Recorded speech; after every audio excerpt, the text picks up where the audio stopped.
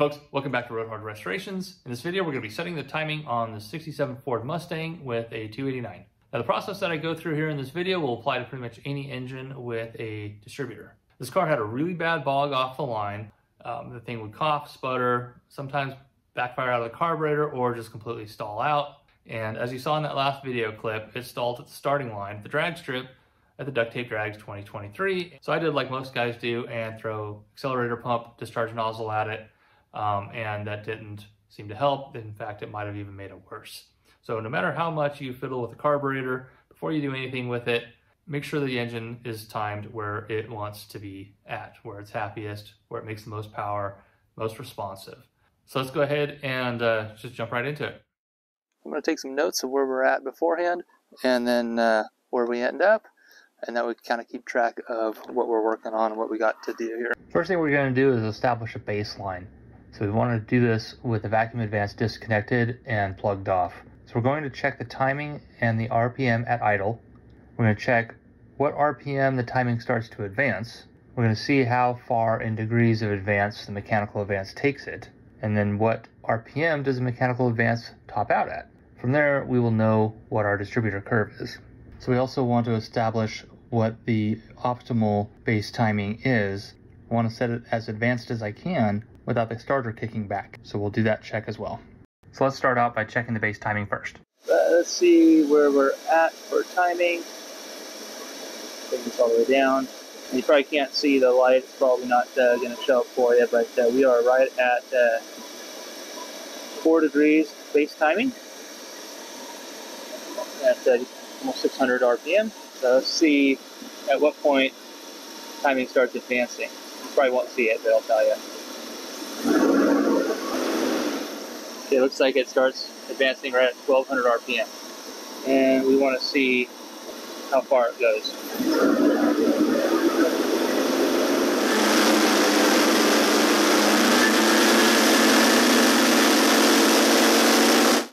looks like uh, 27 degrees total at 3500 RPM. So that'll give us the information we need. Probably want the timing up a little higher than that. Um, my guess, by ballpark of 30. So we can probably get that uh, swing to come in a little sooner, set the base timing a little later, and then we'll hook up the vac advance and go from there. So let's go ahead and get this distributor yanked out. First, we want to make sure that we have it on TDC so that way we can know exactly where the distributor goes.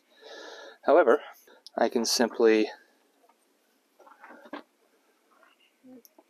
clock it in the same position that we pull it out. And then as long as we don't bump the motor, then put it back in the right spot, we should be in the neighborhood.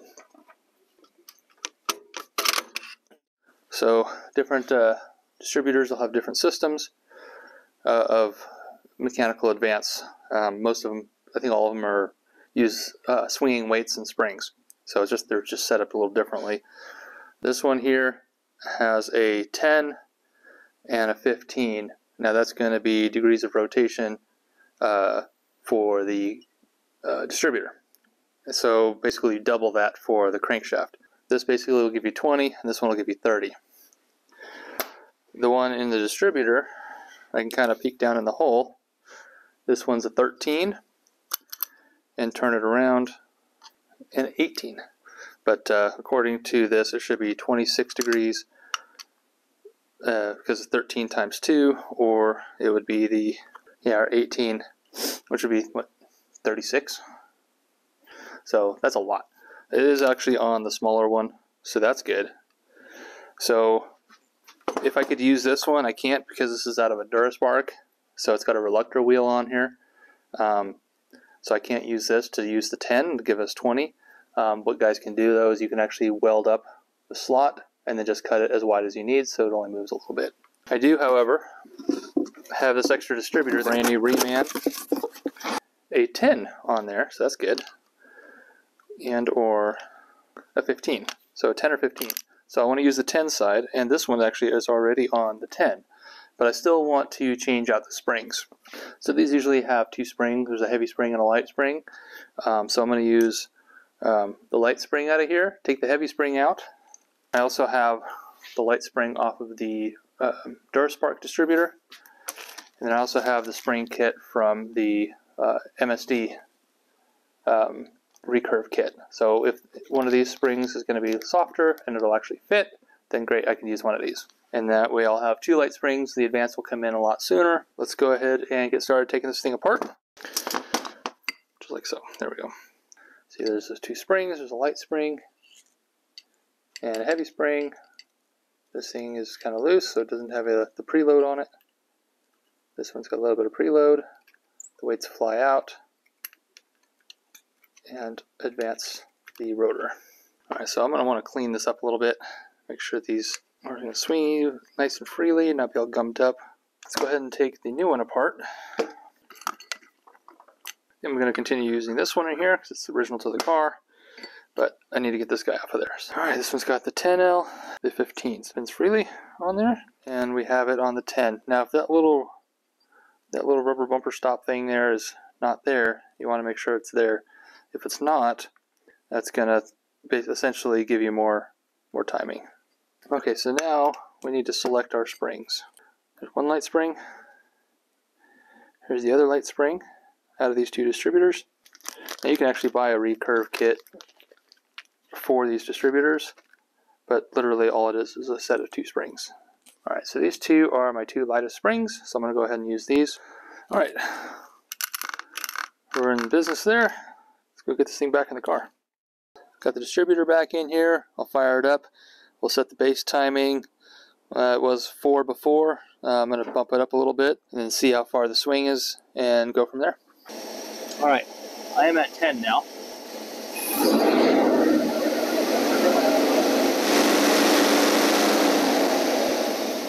Okay, that's 24 degrees advance.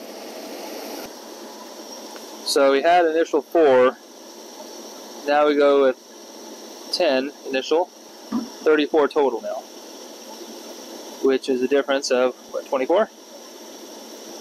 Let's kick this back up to 15. Okay, we're at 15 now. So if I bump this up 24 more times,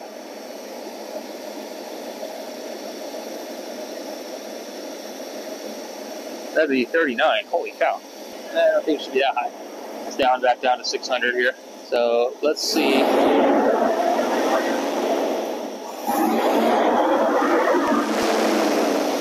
Okay, I'm actually at 38. That's 23 degrees of advance. There I am, right there. Just back it off 4 to 11. Okay, so start with 11 initial. Now, my math is right. If this distributor is working properly, I should be able to go up 23 degrees to 34. That should be right there. All right, it went to 34. So there's there is some consistency. If I'm at 10, add 23 degrees.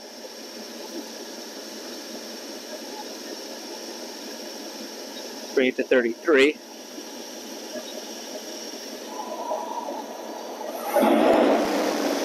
All right, we're there.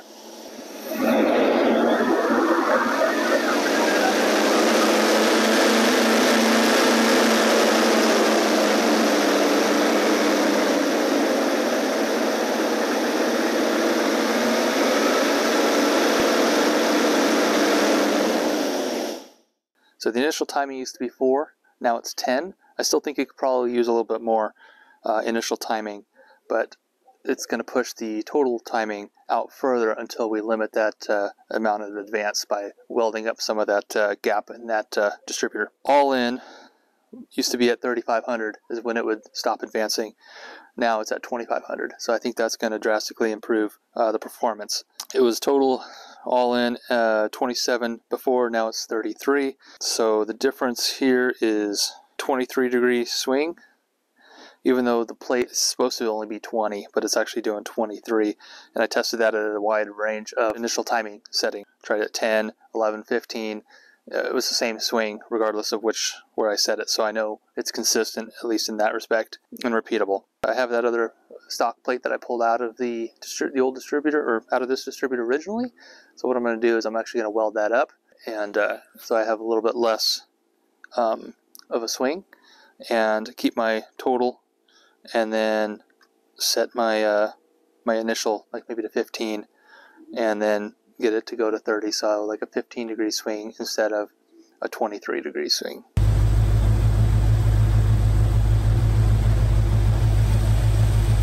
So we're shooting for a target of around 15 So I'm going to set it at 15 and then start it up and uh, see how it sounds, see if we can back the starter or anything like that. Every time you uh, advance the distributor, you're going to kick the RPMs up. So then you got to adjust your carburetor to uh, lower the RPM back. But the test is to uh, fire it up um, with it more advanced than initial. See if that starter can kick back or not. And you know, you're too far advanced. Once you notice that it's kicking back, you can back it off a couple of degrees. Alright, we're at 15. I'm going to uh, turn it off, start it up again, see how it sounds, and then I'm going to bump it up to 18. Um, shut it off, start it up, see how it sounds.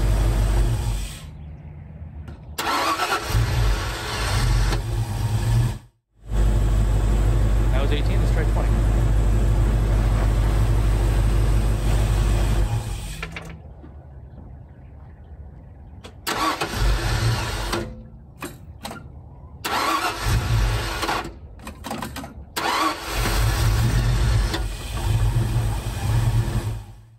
Alright, I am modifying the one that came out of here. You can see how much play is there for the 26. This is the 20 degrees, which is what this is set at. So this is the 26 that was originally in the car. And then this is where I'm at now. Obviously I need to open this up some more. I need to get online, get the measurement, and that way I can uh, open that up. So I basically just welded this up and I'm going through here and file it down uh, to the size I need. This particular is uh, 0.3375 and that should give it a total of 15 degrees of timing. So I'm going to put this in the car tomorrow, see how it works. Comparison, here's the 10 and 13 and then we take the 10 to the now the 7.5. I'll turn it around this way so you can see this would effectively be like a seven and a half, which would be about 15 degrees. We'll bring the base timing up at least another five degrees because we're at 10 right now. That'll bring us to 15, and then um, that'll get our total timing in right around between 30 and 33, somewhere in there.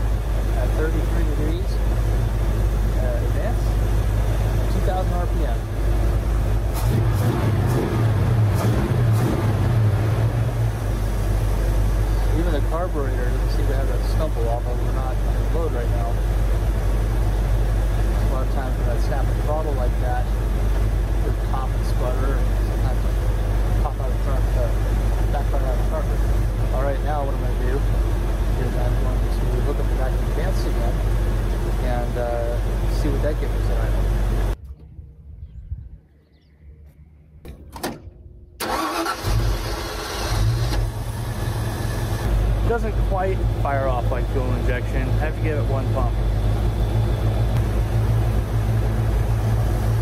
wow. Uh, back and looked up. I'm at 41 degrees advance head idle. All right, so I definitely need an adjustable vacuum canister of some sort. Um, I could take this one off, kind of see if I can adjust it. So let's go ahead and do that. So I'm gonna go ahead and adjust this vacuum advance uh, the newer ones are uh, adjustable by just putting a hex key in the end of it and making a few turns. This one you gotta take it apart and put uh, spacers in there or washers or a different spring or what have you to limit the travel and how much um, vacuum force it needs to actually actuate it. This is actually not the one off the car, but I have all the guts off the one on the car. You can actually do this on the car without taking it off. So we had added some washers. I'm gonna add some more. I think it's just these, uh, these three here. I'm gonna use this one as a guide. I'm gonna put it together and see how far the arm travels. Once I have that figure, I can add washers to see how far it travels. I'm going to try to cut it in half. See the mark that I made on the pencil that tells us where it's at. I wish this diaphragm worked because then I could really do this correctly. It's to be hard to hold this down. All right, now I got a mark here and a mark here. We'll measure this real quick. Okay, so this looks like this moved 830 seconds. So now what I'm gonna do is I'm gonna put some spacers in here, more washers. Okay, how this goes is cap comes off. You got a little gasket there. And then inside, you have several washers, a little stack of washers. Then you have the spring. Then you have this little guy right here. Put this guy back in there, that on there, these two washers here, gasket over the top. See how far it'll compress. That's it. That was at 830 seconds before. Now I'm at 430 seconds. So it's only gonna compress half as much. So I think that'll work. Let's go ahead and take this apart here and put this whole stack in the distributor. And then we'll hook up the timing light, try it again. All right, I think I got my numbers here. My base timing, here's 17. We had 15 as trickle advance, brings us 32 uh, all in at about uh, 2,000 RPM. That's without the vacuum. We had the vacuum uh, an additional 13 degrees, which is uh, 30 degrees, probably go a little higher than that by taking some washers out of the uh, vacuum diaphragm. So I think I'm going to go with this for now, a little conservative, and having a little bit of vacuum advance is better than none, and better than too much. Right now we are idling. Okay, so my base is 17. We have the 13 for vacuum advance.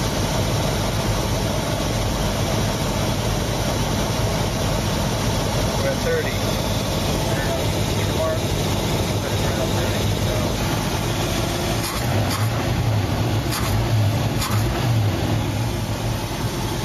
A lot better. We'll see how it does under a load. All right, just got back from a test drive. Car runs way better. Uh, it's up on power. It's spunky. It'll actually fry the tire if I want it to. Um, it's not going to win any races. You know, it's just a little 289, but uh, um, it's definitely a lot peppier than it was. Um, it wouldn't get out of its own way before. Uh, so having the timing where it needs to be uh, made all the difference in the world. Uh, before, when it would bog, it, it would cough and sputter and sometimes die, backfire out the carburetor, the whole nine yards. So uh, it doesn't do that anymore. It still has a bog, but it recovers really quickly. So we're actually really close um, with the carburetor. So now it's just a matter of tuning the carburetor to the engine now that the engine is where it needs to be as far as timing goes. So that should be pretty straightforward. If you haven't already, go check out Tall John's Fun Shop YouTube channel. Uh, he's a wealth of knowledge. He's got a lot of videos on there to show you how to set your timing on your engine and why you're setting it where you are. Um, so go check out his videos. I'll put a link down in the description below. And uh, if you have any questions for me, go ahead and leave a comment. Uh, be sure to subscribe, and we'll see you on the next one.